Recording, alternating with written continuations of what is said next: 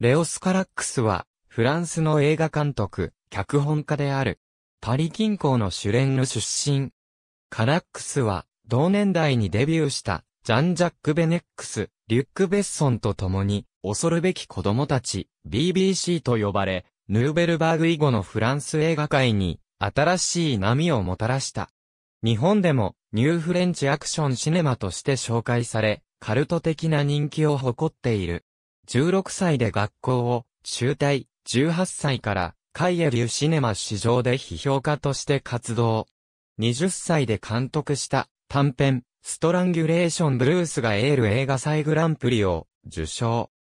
23歳になる1983年に、ボーイミーツガールで、長編デビューし、フランス映画界において、リュック・ベッソン、ジャン・ジャック・ベネックスと共に、恐るべき子供たちと呼ばれ、脚光を浴び、特にカラックスは、カイエ氏での批評経験の経緯と、その難解さ、引用の複雑さ、そして何より斬新さから、ジャン・リュック・ゴダールの再来と評される。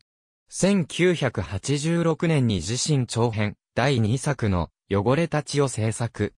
1991年、ボーイ・ミーツ・ガール、汚れたちに続く、連作の終止符として、ポンルフの恋人を制作。同時に、ボーイミーツガール以来、カラックスの完璧主義的映像美の追求に、多大なる寄与をしてきた名カメラマン、ジャン・イブ・エスコフィエとの最後の共同作業にもなる。パリ近郊に巨大なパリのオープンセットを作った超大作であり、三部作中最もヒットを記録した。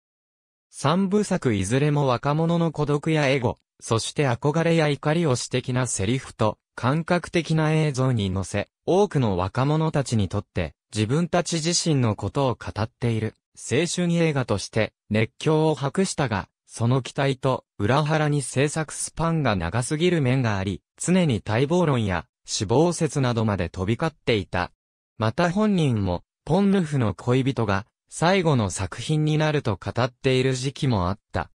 1999年に、ポーラ X 制作。今作では、コンピュータグラフィックスを用いるなど新たな表現にも、挑戦。原作は、映画化不可能と言われたハーマン・ガメルビル作の、ピエール。思春期に衝撃を受けた小説であった今作を、制作することへの情熱から、かつての引退宣言を撤回しての作品であったが、それまでの作品にさらに難解さと、終末感が強調されたような作風で、セールス的にはあまり成功とは言えないものとなった。2007年には、フランス、日本合作のオムニバス映画、東京の第2部を監督した。2012年、ホーリーモーターズで14年ぶりとなる長編映画復帰を果たす。本作は第65回カイヌ国際映画祭コンペティション部門に出品され、パルムドールにノミネートされたものの、受賞は逃した。しかし、批評家からは、高い評価を獲得し、カイエデュシネマ市では、年間1位を獲得。BBC が発表した21世紀の偉大な映画、100選では16位にランクインした。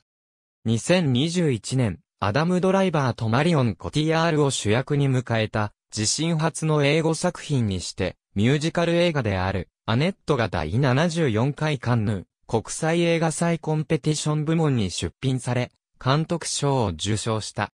ポンヌフの恋人までの3作は、主人公の名前にちなみ、アレックス3部作と言われる。カラックスの本名はアレックスなので、主人公は彼の分身であるとされる。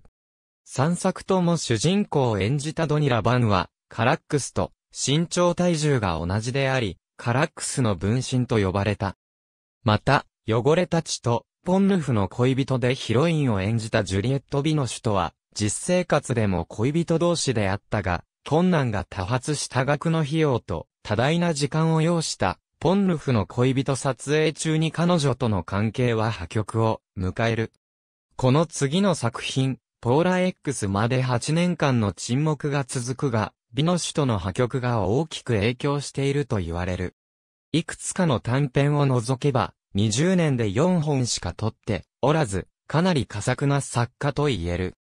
その原因の一つには、自身の完璧主義が少なからず影響していると言われ、汚れたちではその映像美の実現のために言おうとも言えるほど、フィルムテストを重ねたために準備期間を費やし、ポンルフの恋人では莫大になった費用の捻出のために撮影が幾度か中断された。中条昌平。ありがとうございます。